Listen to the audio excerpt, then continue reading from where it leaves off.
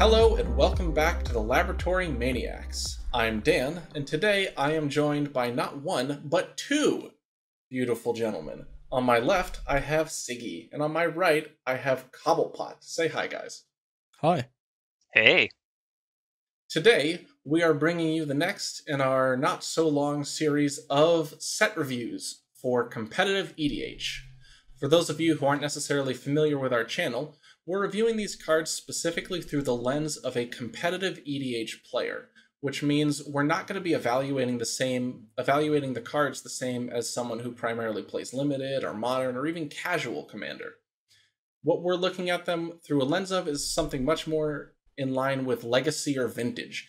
The power level of our format is significantly higher than a lot of the more commonly played formats. So cards that may be making a big splash in casual commander circles or in modern circles may not even get mentioned in this set review. With that preface, Sigi, why don't you start us off? Sure. So, the first card for today is Mission Briefing. It's an instant, it costs 2 blue mana, and it reads as follows Surveil 2, then choose an instant or sorcery card in your graveyard. You may cast that card this turn. If that card would be put into your graveyard this turn, exile it instead. What do you think, Dan? I love it. This card is super cool. It fills a similar role to Snapcaster Mage, but with a positive side that is more in line with how our format functions. Snapcaster Mage leaves behind a 2 1 body, which is sufficient to cross the finish line when you have one opponent with 20 life and neither of you necessarily have a lot of creatures. That doesn't do much when there's 120 life represented by three opponents with Tymna as a major player in the format. Mission Briefing instead lets you surveil 2, which is significantly more powerful given that we play a whole host of top of the deck tutors. So mission briefing can not only do more for you in that it lets you scry or like well pseudo scry surveil, which is like mill scry, but it can also set itself up. Say you vampiric tutor for Ad Nauseam and then mission briefing at the end step. You can do all of that and still cast the Ad Nauseam that you tutored that turn. So I think compared to Snapcaster, this has a lot more potential benefit for specifically competitive commander. What do you think, Cobble? Um, yeah, I think you hit it right there.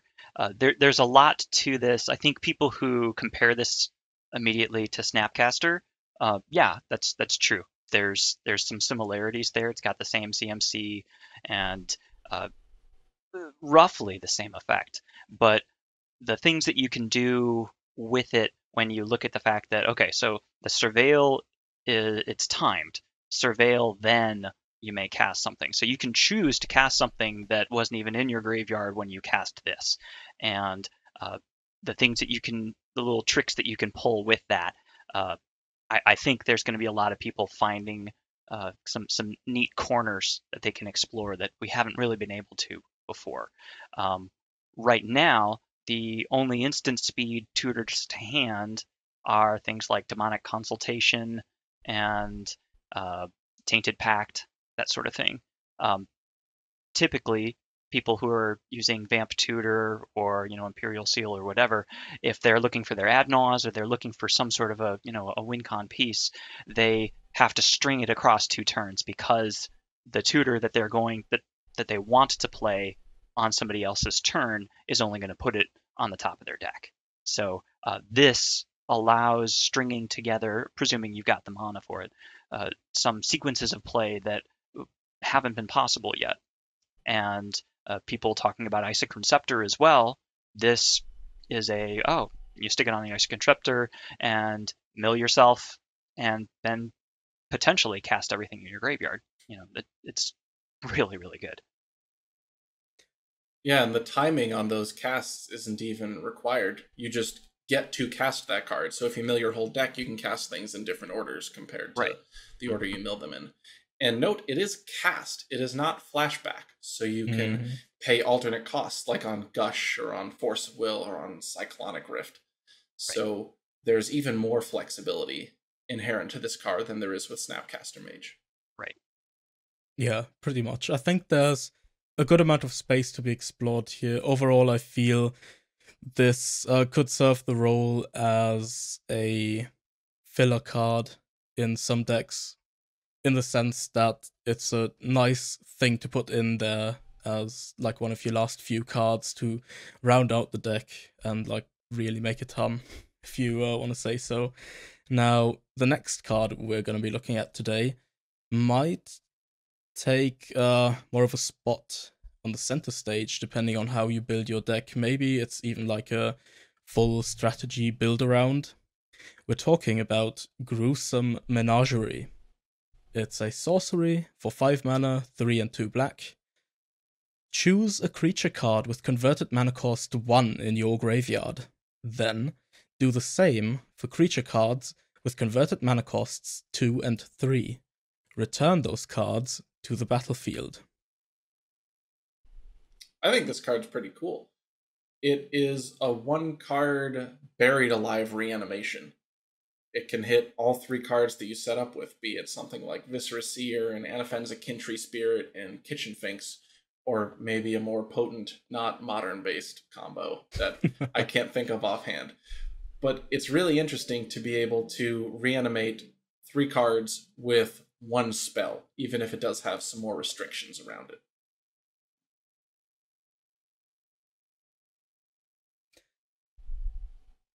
Hmm. Yeah. Cobble, can you think of any uh potential scenarios where you might want this?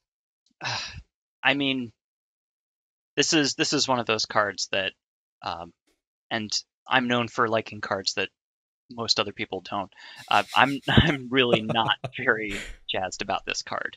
Uh, I look at things like Victimize, or, um, gosh, even the Jarad's Orders kind of cards where you, you're trying to set up a, a combo with even just two creatures. This is presuming that you're trying to combo with three creatures and you have to have a buried alive or you have to have like a self mill strategy Mhm. and it costs five and it's sorcery speed i mean i, I don't want to come down hard on it now because i'm sure that somebody's gonna come up with a cool idea but i i don't know how much of this we're gonna see Yeah, it's it's kind of hard to figure out. There's it does feel like there's some space there to explore and maybe try one thing or another. There's probably like a pile or two already out there that works with Buried Alive in this. But if you look at it from an efficiency standpoint, Buried Alive plus this on the same turn is 8 mana, and that is a lot Quite a lot. Bristlebrand's mana cost is on the face. yeah Not that So- it's legal, but you know. another thing too i mean for the same mana cost you can cast uh, living end or uh, living death which oh, Uh, yeah. less restrictive and I mean, yeah. way more cards. uh, yeah um Yep. given i we we don't see anybody run victimize we don't see anybody run living death Crixus Twin does occasionally run Victimize, but Okay. that's it, I think. Yeah, very occasionally. Yeah. Right.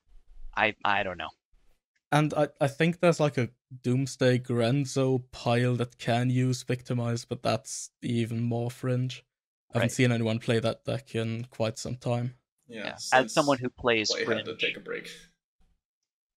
Yeah. I don't think i'm going to be playing this one Me neither, probably. It is cool, but it's also not easy to make work. Right. Yeah. Let's move on. Yep. Much uh, simpler, but potentially more powerful in the right shell is our next card, which is Plague Crafter. It's a creature, human shaman, for 3 mana, 2 and a black, a 3 2. When Plaguecrafter enters the battlefield, each player sacrifices a creature or planeswalker. Each player who can't discards a card. Power Creep strikes again. Fleshbag Marauder was a 3 1. and now it's a 3 2, and also does way more things. I, I think this card's pretty cool. I like that they're transitioning edicts to now include planeswalkers. And mm-hmm. this card specifically having the edict not be able to whiff without your opponent already getting the shaft because their hand is gone. But in general, this is so much ramped up from your Fleshbag Marauder that I actually like it. I'll be putting a copy of this in my casual Meren deck, and presumably this is going to go into more competitive Meren builds, and maybe even into some of the more uh, creature-based Tymna decks, just because it is a pretty good value piece that can also function as a combo slot, and that it'll wipe the board and wipe your opponent's hands if you can iteratively reanimate it.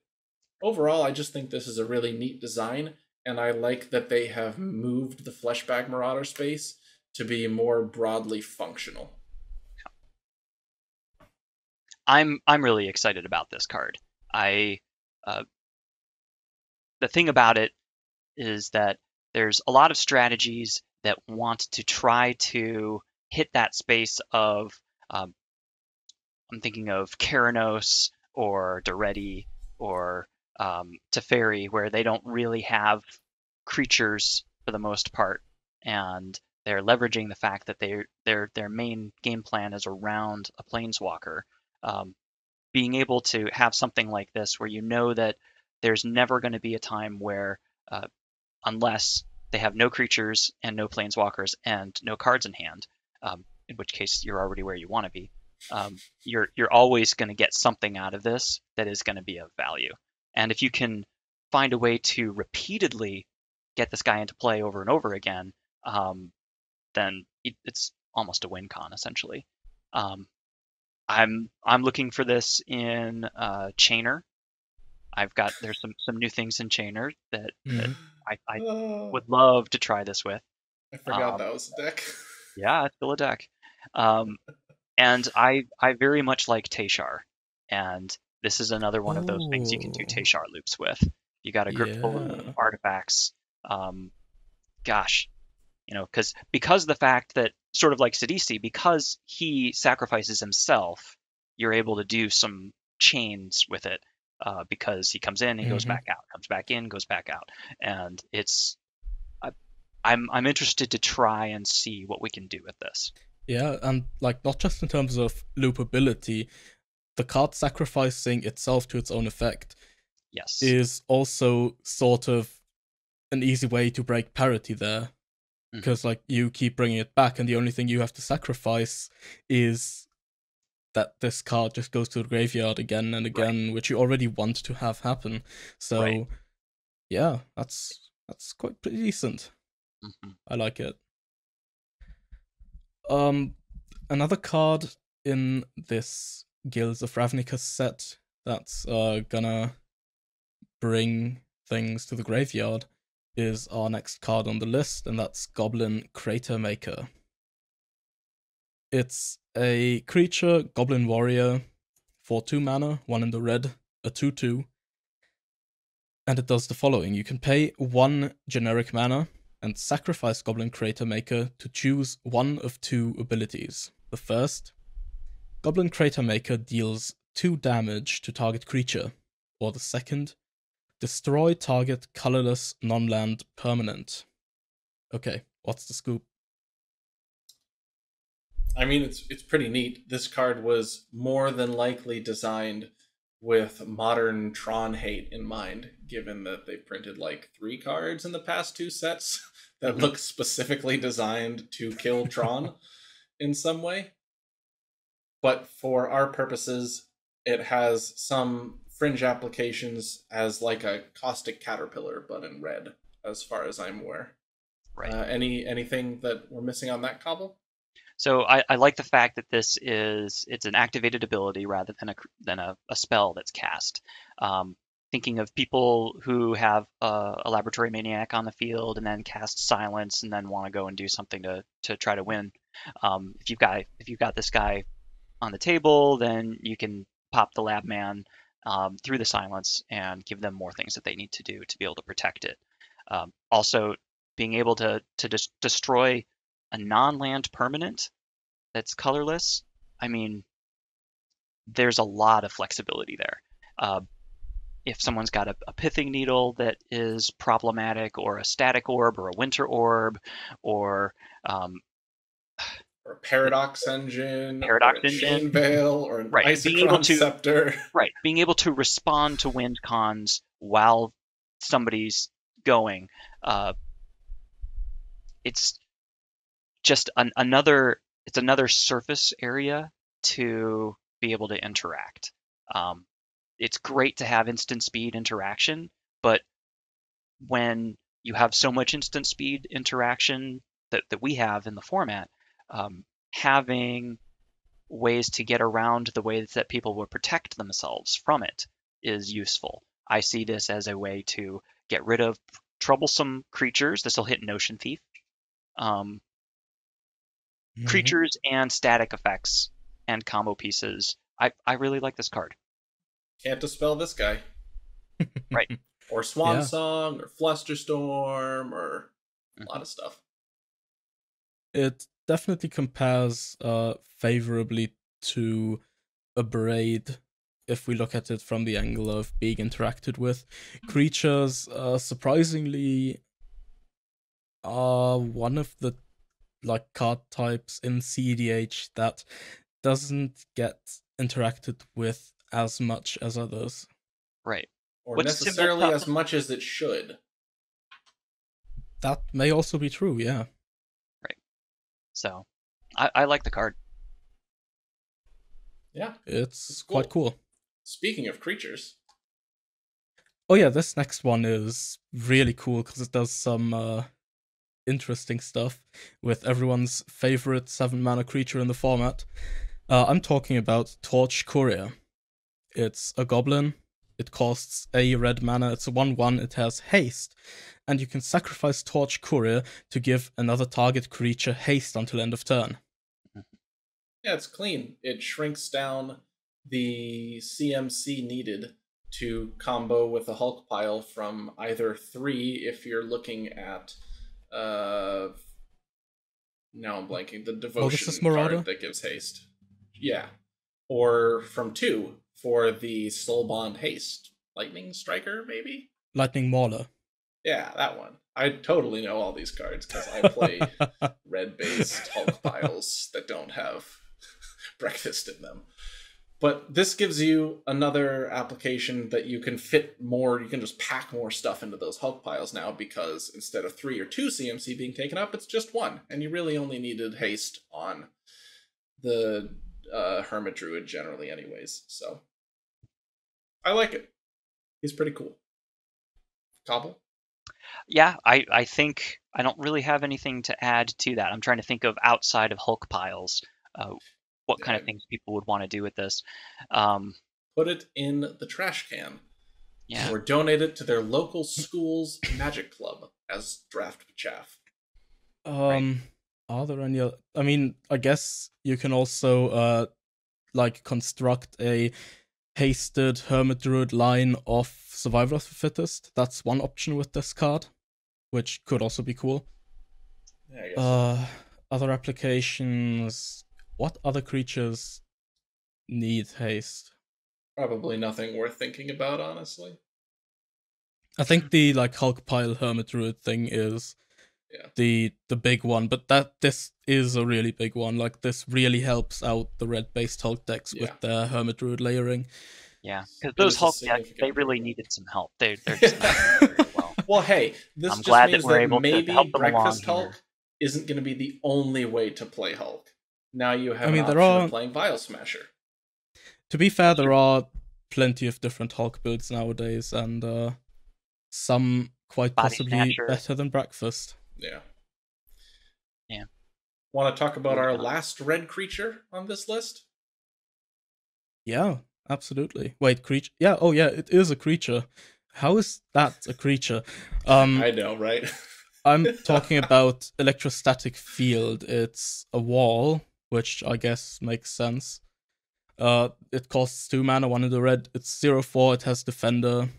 Uh, whenever you cast an instant or sorcery spell, electrostatic field deals one damage to each opponent. I'll, uh, I think I can just pass the microphone to Cobble here. He, uh, he knows. I, I I love my pingers. Um, so this is this is effectively a, a Guttersnipe that's two mana, um, and does one damage instead of two. Is this useful? Is this more useful than uh, Firebrand Archer?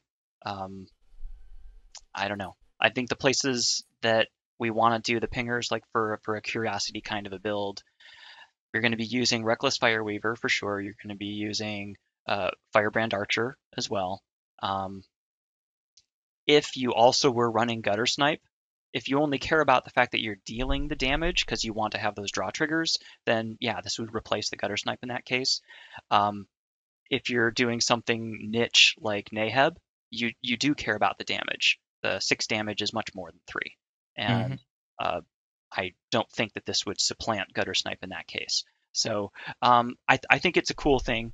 Um, I don't know if you need to have four copies of the effect as opposed to three, because I, I think that um, in the the Raza Hulk Firebrand uh, build that I was doing, the Curiosity thing, it's I think I only have the two curi- the the two pinger effects in there right now, just the Firebrand Archer and the uh, Reckless Fireweaver. So I don't know if this is going to knock anything else out to be able to get in. Both of those are also via triggered abilities, right? Not some sort of creature activated ability. Right. Okay, good. Because like Cursed Totem, uh, like if there was a pinger that's currently played that were vulnerable to Cursed Totem, then this would have been a good replacement. But Right. Like uh, for um, uh, what's the Alchemist? Um, yeah, Or there's the the Eldrazi that's a two and a red. Whenever you cast a colorless spell, you can untap it. Um, Nettle Sentinel, um, those kind of things. Yeah, through a Cursed Totem, those guys are going to have trouble, and this is just another one of those Fireweaver effects that lets you be able to power through. I do want to point out it does have the proper toughness for a breakpoint. Four is significantly harder to get to than three, given that Lightning Bolt, Abrade, Anger of the Gods, any of the like fringe playable damage based spells usually only hit three. Right. So if you're worried about any kind of effects like that, this is Toxic technically improved. Yeah, exactly. There's you have to you have to do one step more to be able to kill this with damage or Yeah. like or uh, toughness loss. But yeah, other than that, I tend to agree. Let's move Okay. on to a significantly better card that I love. Oh boy. Okay, yeah. Uh this this one is big, like actually big. This might be one of the best cards we've gotten in a while. Uh, I am of course talking about Assassin's Trophy. It's an instant, it's black and green, and it uh, destroys target permanent an opponent controls. Its controller may search the library for a basic land card, put it onto the battlefield, then shuffle their library, but it destroys target permanent for two mana. Oh my goodness, it's so good. And it's in green black. It's in green black. You don't need to play white anymore. This makes bug viable in modern. This makes shardless bug potentially viable again in legacy. As we record this, my background tab is a shardless bug build for this card. Oh. and well, I guess also competitive EDH. You know, this is like abrupt decay that can do anything and it's not like basics are exactly common given that hermit druid is a force in the format so i think this is fantastic i love this card very much it's great in anything that runs black and green which ought to be every deck you own cobble So, all of that notwithstanding, yes, absolutely, this is this is awesome. Um, I'm trying to think of how many permanents that are that see a lot of play in the format. gaia's Um, cradle tabernacle at Pendrell vale uh Slow your yeah, roll. I'm talking about ones. how many how many permanents that are more than three CMC. I'm I'm comparing this to abrupt decay. Mm. chain veil teferi paradox engine those are the biggest ones Right. Uh, you have Notion Thief, which is arguably in that list. Sure. You have So- reanimation targets like Nezahal, Consecrated Sphinx. You have Tasigur. You have Keranos. Actually, he's indestructible, so that doesn't really do much. Just gives them a basic. Also, nobody really plays him anymore, to be fair. Well, yeah. Uh, Um, We've got Jin that's- Gitaxias. yeah, that's, a big one. So up to like eight or nine, I think. Okay. And uh, like the Kess. Oh yeah, th- they're Jelliver. good. Okay. So I'd say a couple, right. maybe more. So the I, I guess the lead-in question there is, do we replace abrupt decay with this, or Nah, play in Oh, addition? you play both. You play both. You play I think- both. I think both. Like, I'd if I'm not playing some sort of build that really, really values one mana removal and interaction, then I think it's fine to replace something like a Pongify or even a Swords to Plowshares if you're running that with Assassin's Trophy. Hmm. For instance, like in my uh, Bug Red control style decks, uh, I'm probably going to be replacing Submerge with Assassin's Trophy. My god, the you ran you can- submerge in those? You can cast it for free if they have a forest or something. Yo. or you have a Yeah, forest. that's the top Okay. of the library. Submerge is amazing. That Man, card is you, actually you've been good. going deep That it's a good card. Seriously. in, in Legacy. I don't know if I think that. I, I don't know. I I guess you've been broadening off of Adnos as a one card win con, so I guess it makes sense that you'd be playing better free removal that weakens Adnos. Yeah, yeah, all right, I see it. I see it. It's good. Yeah, it's a good card. Um, actually, I don't think it's a very good card. Um, yeah, anybody who's watching, just send me your copies because I don't think I'm gonna figure out what you play. Yeah. Oh well, yeah, I'm I am a bit sad about it being like still $40. twenty euro on card market. Forty dollars? Are you yeah. serious? Yeah. It's, Yeah, it's between like that. 35 and 40. You're gonna see. is You are all welcome to send me foil copies. right. thank Yeah, you. we'll sign them and yeah, eventually. and then we'll keep them. Yeah. Yeah, sounds like a deal, doesn't it? And Uh, it's cheaper to ship to Raleigh than to Germany. So uh This is true. your boy needs his copies. All four. uh, Think of the Yeah. children. great card. Uh, Moving Interestingly enough, I think to sum it up, we can say Abrupt Decay in CDH, it is not in every other format. It's probably more than that, but we still like Abrupt Decay a bit more. Uh, the decks that do play Abrupt Decay will probably, however, also be playing Assassin's Trophy because both are fantastic. Yes. You Night of heard- Autumn. you heard it here first. Yeah. nobody else is talking about this card. yeah. uh, yeah, Knight of Autumn. Uh, Right. It's a three mana creature, 2 1, costs one a green and a white. It's a Dryad Knight. Reclamation. I'm so glad right? this is not a human. yeah. Um, When Knight of Autumn enters the battlefield, choose one. Either put 2 plus 1 plus 1 counters on Knight of Autumn, destroy target artifact or enchantment, or you gain 4 life. this card was very, very specifically not chosen to be a human or an elf. And I honestly appreciate Wizards. Thank you, Yes. whoever was in charge of making sure this was not a human or an elf, for that distinction. Modern does not need this card as a human. It is a powerful enough sideboard option, allowing you to condense Reclamation Sage effects and Kitchen Finks effects into one card, freeing up slots, which is already a really good thing for the format. This does not need to be human triggered. And for every other format, this doesn't need to be an elf because, come on now, that's just absurd power creep Yeah. as far as our format goes, because it is not an elf, it is arguably weaker than Reclamation Sage because you can't do some of your elf shenanigans with Priest of Titania with it.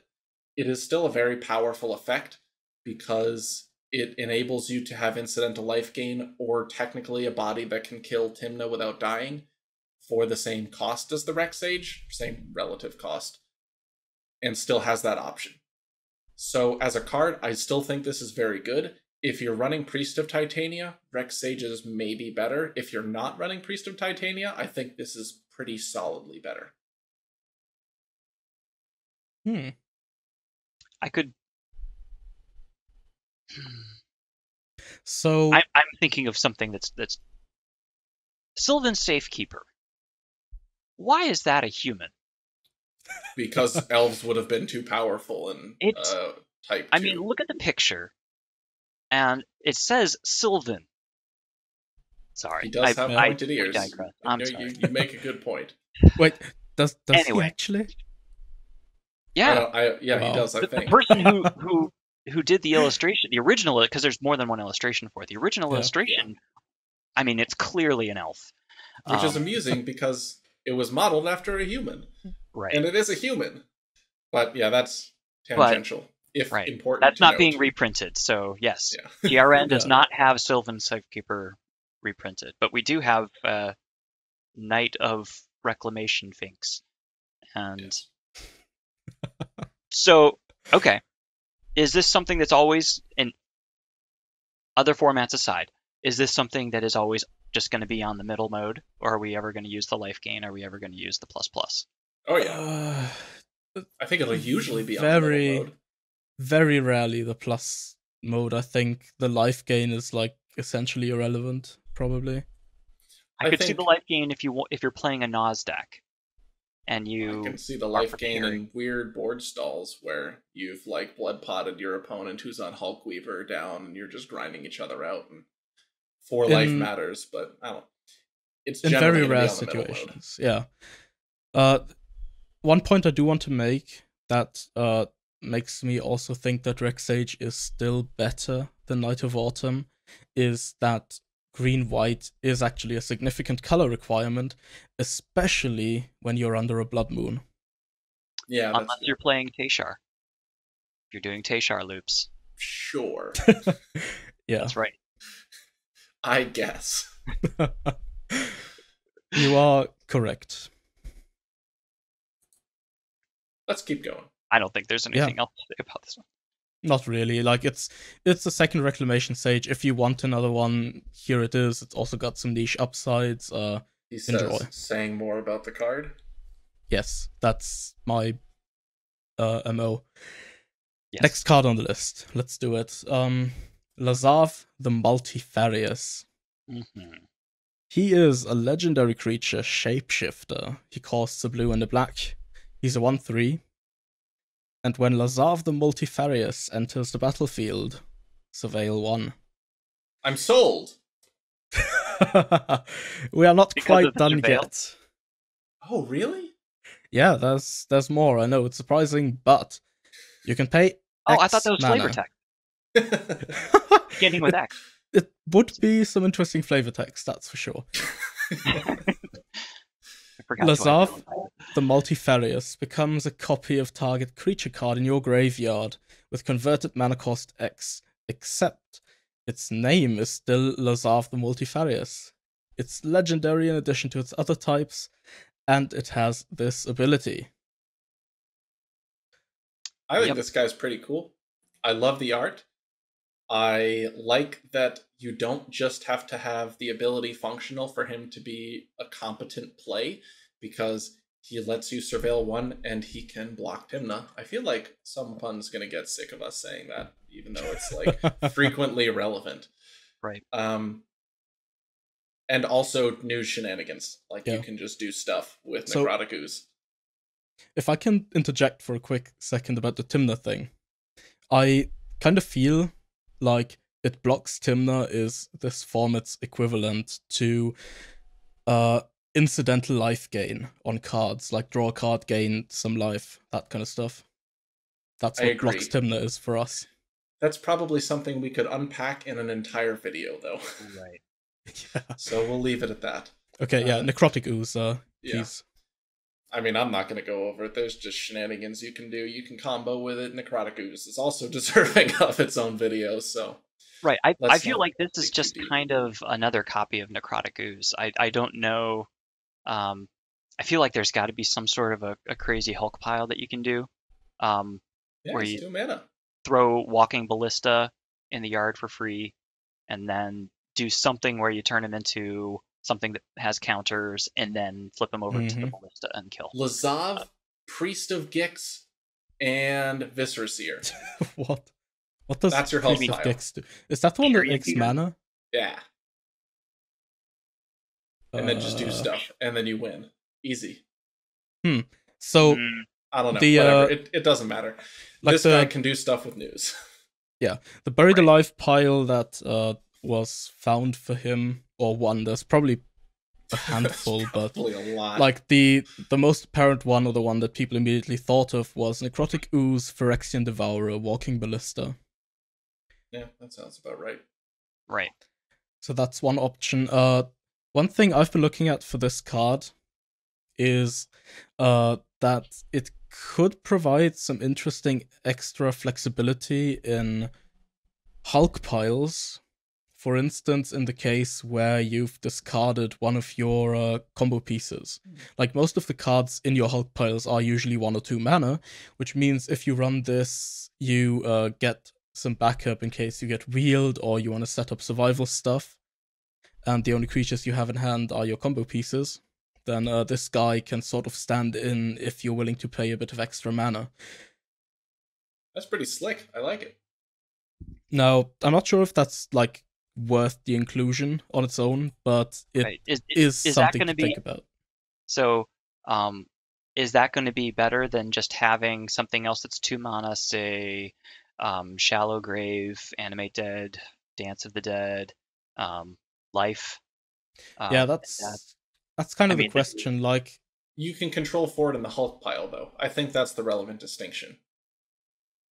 In like in- theory, you can also make Spellseeker Hulk piles that get you reanimate or Shallow Grave or something like that, if you so desire. But those also come with some uh, challenges. Like one of the important things, for instance, about breakfast that it used to have as an advantage, uh, uh, as an advantage over most other Hulk decks was that it won off a single Hulk trigger. It didn't have to reanimate Hulk, which uh, usually gives the deck some kind of weakness because if you exile Hulk with its trigger on the stack, they can't get it back, so they can't do the pile, etc.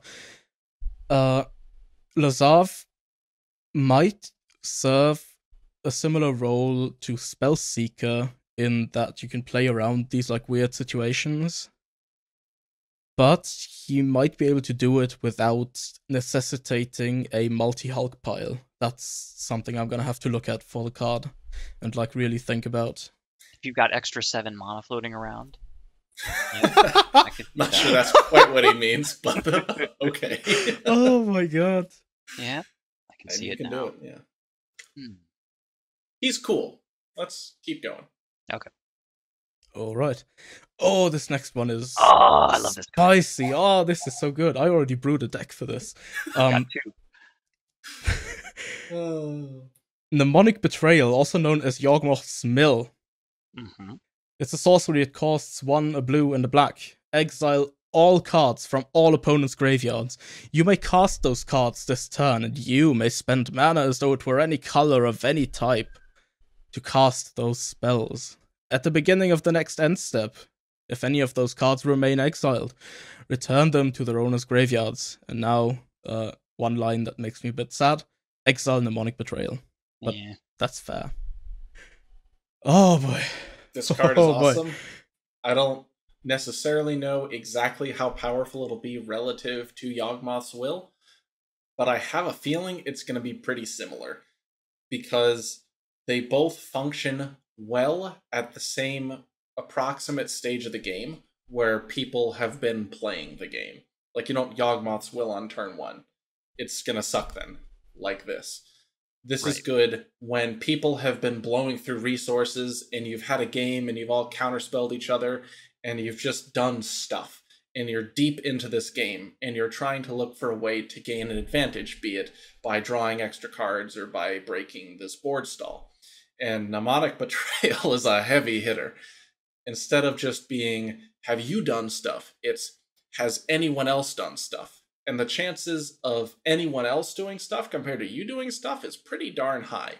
Especially if you're at a point where you're considering casting a three mana sorcery that does nothing on its own, pretty Mhm. much. Right. So, as a late game card advantage finisher engine type deal that can also be incidental graveyard hate, I think this card is awesome. And the art is pretty metal too. So, Yep. there's Looks that. like a uh, like an, an album cover for some sort of a metal band. yeah. It kind of reminds me of like uh, Devin Townsend with some of his album covers. Yeah, I could see that. Sure. I know who that guy is. Uh, do you know like the Badger, Badger, Badger, Badger thing? There's a metal cover of it, and Devin Townsend is the one who made it. Oh. Nope. Yeah. Yeah. Uh, uh, yeah, the Mnemonic Betrayal interesting. Cobble. Uh, So, um, yeah. Uh, so this card, um, I think this is awesome. Um, I think something to note: a lot of people, when they evaluate this, it seems that everyone's like, "Well, it's going to be really inconsistent because it's completely at you know it's it's going to be determined by what it is that your opponents are doing, and it's not going to have value." Uh, the the evaluations seem to to pretend that uh, mass removal doesn't exist. Um, I think that if you play this in a mid-range deck that is intending to have a lot of interaction, intending to have uh, meltdown kind of effects, where you can Mhm. just blow away all of the artifacts and then cast this and then get all of them. Um, and then because of the fact that they're artifacts, they they stay around and you've got them, um, rather than having them go back to the opponent at the end of turn or something like that. Or you know, uh, sorcery is an instance. There, well, if you can use it now, then great. But if not, then you're out of luck. Um, being able to grab everybody's fast mana and then hang on to it, even if you can't capitalize it, capitalize on it during that turn, I think that'll open up some uh, ways to get the game unstuck. Um, yeah, I- that's pretty sweet. Yeah. I hadn't even Right. thought about the uh the the ramp that you can do with this. right, it's just absurd. Um, Yeah. and you, obviously, yes, if you want to just go, you know, wheels tribal or something like that, um, not a, you know, not a safe strategy when everybody's got as much free counter spells uh, in every deck. Um, but you know, I've I've been testing some some mill stuff, and yes, it's fringe, but this is this just slots right into Varina, and it's it's pretty sweet. It's amazing. oh yeah. That's pretty That's cool. cool. Yeah, the uh the deck I brewed up with this is uh Thrasios Tymna, not much of a surprise. But uh I'm I'm doing some things. Wait, are you ex- playing Isochron Scepter? No way, how'd you know? Oh, my! I, I think I've seen this deck. So Go on. Yeah.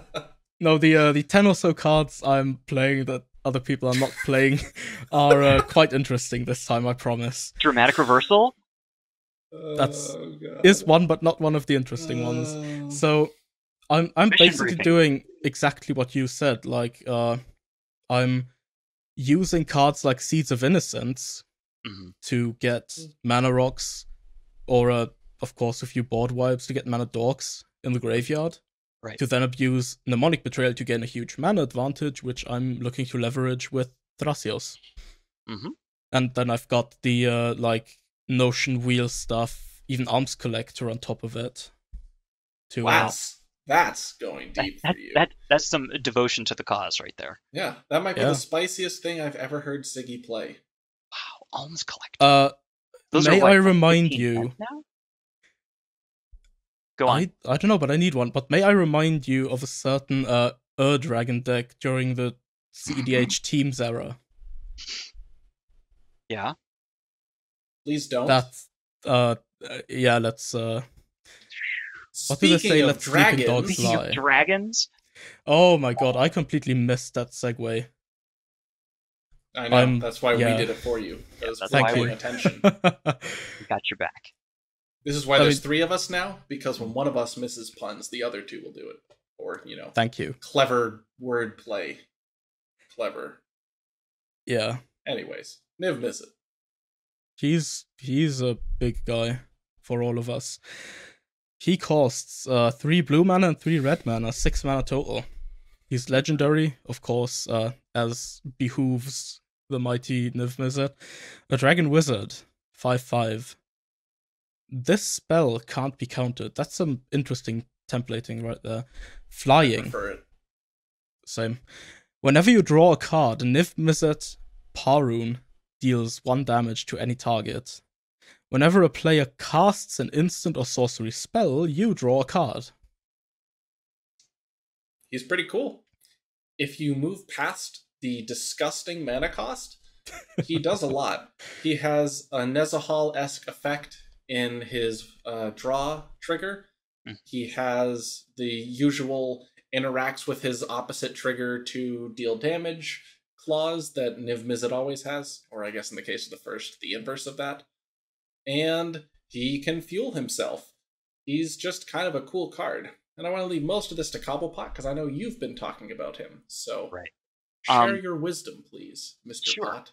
I I this is I mean hands down by far and away the the best of the Niv Mizzets there ever been. Um, not to say that the other two are are good, but um, this I one like it already. this one's playable. Uh, yes, the, the the mana cost is prohibitive, and that's gonna scare people away. I wouldn't recommend. I don't. I, I don't even want to say that I wouldn't recommend, but um, I'm not planning on playing this as a commander. Um, this is a reanimation target, and it's a very good reanimation target. Um, being able to have a, a creature, I, I mean, yes, Nezahal has been around for a whole couple Six of months. months? Um, this Oh my god, it was like two years ago, wasn't it? Right. The fact that you can channel the draw into damage um, is very pertinent. So, what do we have in the meta today? We've got a lot of Timidax, a lot of Blood Pod, a lot of hate bears, uh, creatures, you know, that kind of stuff. Being able to just pick them away um, whenever you wheel or whenever you just incidentally draw cards from like a brainstorm, for instance. So um, I cast a brainstorm and spread. I, I do a um, infernal titan, you know, kind of spread three damage around and pick off your monodorks or Triple The- Stone the- Rain. right, you know, the the notion thief in the Tymna, um, you know, or Yeah. you put this. So I'm I'm going to use this in Raza Hulk Firebrand, the the weird edge uh, fringe curiosity deck. The And- Cobble deck. Yeah. Um, it's a reanimator deck, and it runs Curiosity and Keen Sense and those kind of effects. And this thing is, it does a good job in that deck. Um, just reanimate it, or you know, um, get into play from Hulk and have Tandem. Uh, what's the Tandem guy? Tandem Uh, lookout.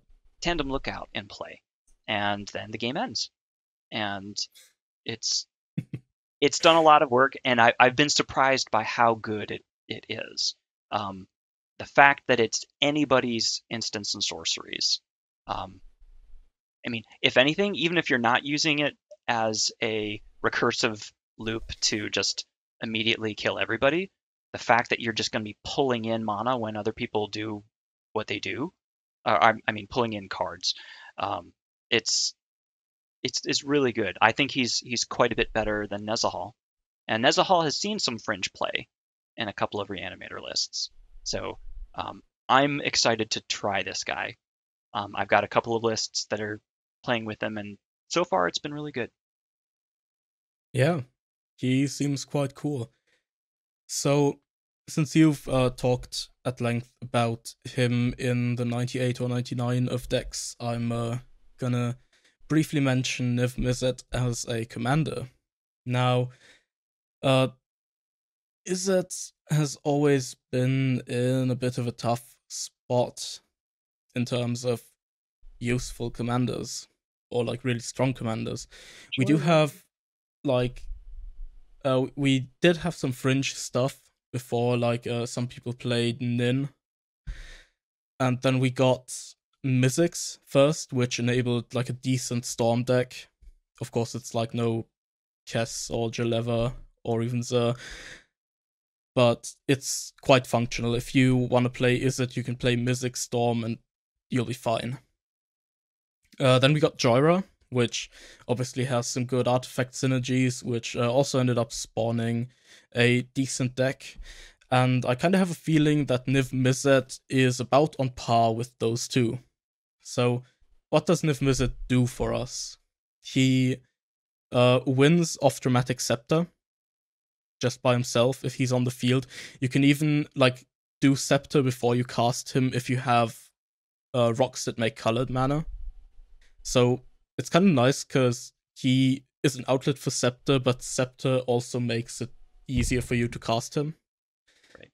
Uh, he also wins with Paradox Engine and like any spell on a Scepter, which is also great. And on top of that, he also does the classic Niv Mizzet thing of winning with curiosity effects, if that's what you want to do. So, uh, win conditions have historically been one of the things that Blue Red has struggled with, and Niv Mizzet provides a good solution to that issue due to having several different avenues of winning the game.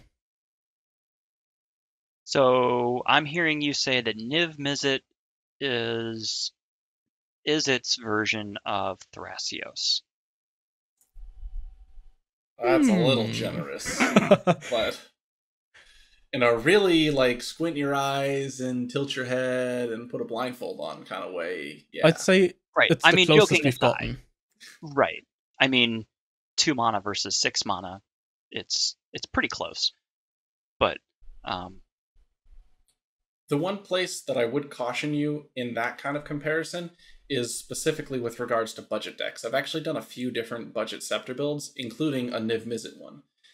Mhm. This Niv Mizzet, while better as a card, you will kind of want to do some numbers math on to be careful with because his mana cost is more restrictive and less rock beneficial. So if you're playing with a lower budget and you don't necessarily have the fetches and the duels that let you cast triple blue, triple red for a backup um, like creature spell, this is going to be significantly harder because a lot of the budget mana rocks make colorless mana. You're going to be slightly more RNG reliant with your draws onto what mana you can produce from your lands. Mhm. So some of the older Niv Mizzets or the Scorpion God, Scorpion God, Locust God, Locust God are Yep. potentially going to be better as your budget decreases, despite being weaker commanders and weaker cards. Oh yeah, that does make a lot of sense. Yeah. agreed. And with that, I think we've concluded all of the cards we wanted to talk about for Guilds of Ravnica. Do you guys have any general thoughts on this set, just that you want to share with our viewers? Man, I love Ravnica. What a cool place. I I mean, yes, the Vorthos part of it is great. Um, this wasn't a, a very good set, seemingly. Um, I mean, we don't. I I think we've gotten a little bit. Uh, the past couple of sets have been very very good. I mean, Dominaria and some of the things out of uh, a couple of the other more recent sets, Kaladesh especially.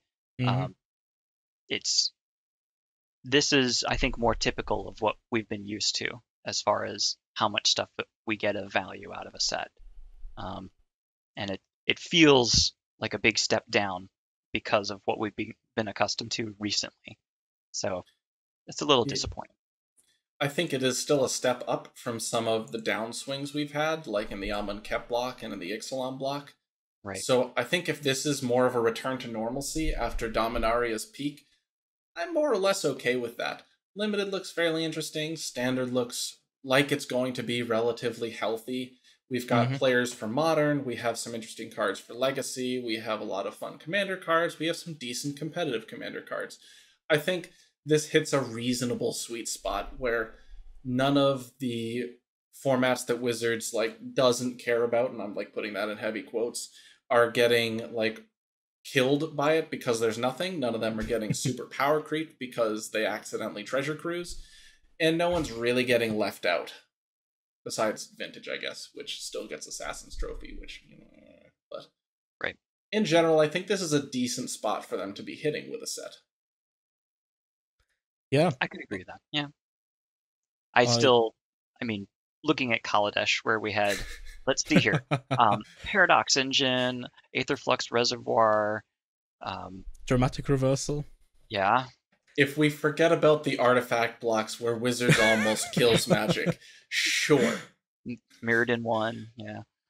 In general, I think this is a healthy place to be, though. Okay. Yeah. Yeah. Fully agree.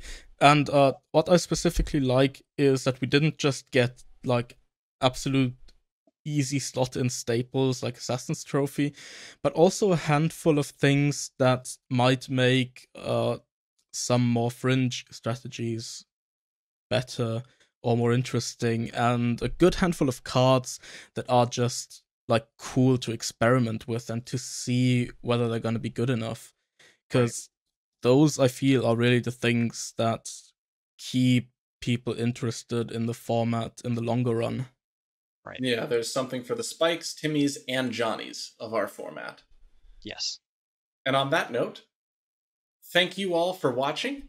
Thank you, Sigi and Cobble, for joining me in this competitive EDH set review of Guilds of Ravnica. I have been Dan as usual, and I will see you next time. Have a good one.